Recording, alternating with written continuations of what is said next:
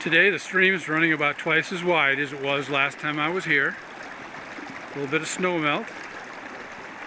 I'll pan alongside here. We're kind of looking, that's the bottom of the path on the other side of the tree there. And now we're looking towards the south, where it's heading down towards the Platte River.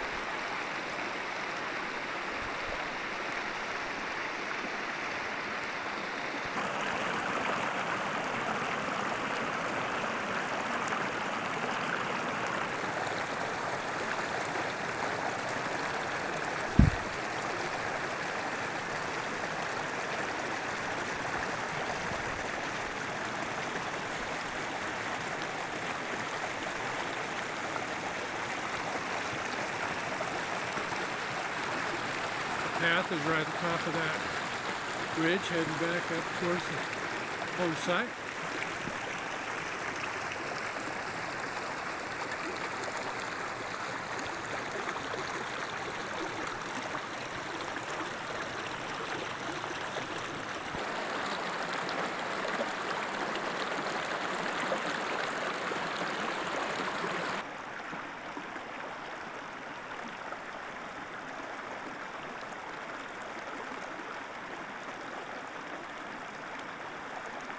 12 and a half acres.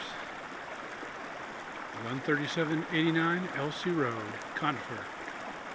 Give me a call. Jim Glenn, 303 699 8056. This could be yours.